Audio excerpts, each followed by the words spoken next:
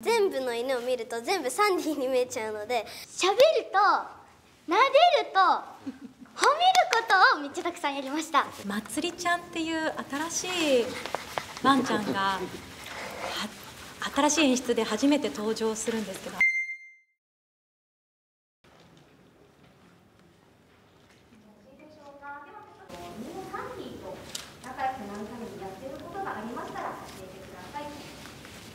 はいえっと私はあの初めてあのサンディと会った時はまだやっぱりあの一緒に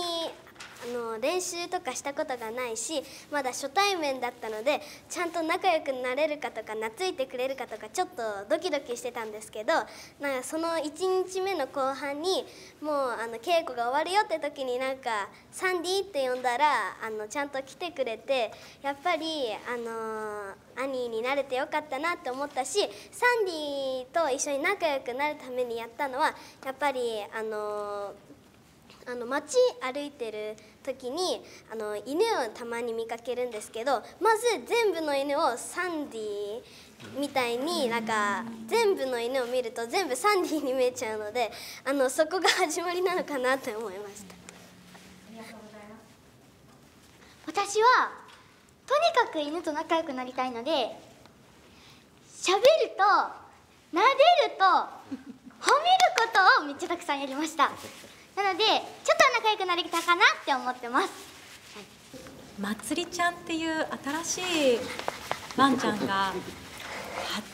新しい演出で初めて登場するんですけどあのまつりちゃんって名前で出るわけじゃないんですけど あの野犬を捕獲するシーンがあって今までそれはあのダミーのぬぬいぐるみ？人形のワンちゃんでやってたんですけどそれをサンディとの2匹と同じワンワンサーカスのあの新しいワンちゃんがサンディ候補のお勉強みたいな感じで野犬役で登場するんですね。でそれが舞台上でこうワンワンって言うんですけど演技で吠えてるんですよ、なんか私で袖ではすごく静かにきちんとしてていざここっていうとこではしっかりワンワンってこう威嚇する吠え方ができて